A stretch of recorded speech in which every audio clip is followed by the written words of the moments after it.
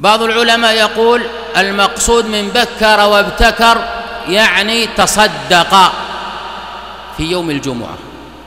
لحديث باكروا بالصدقة فإن البلاء لا يتخطاها لكنه حديث ضعيف.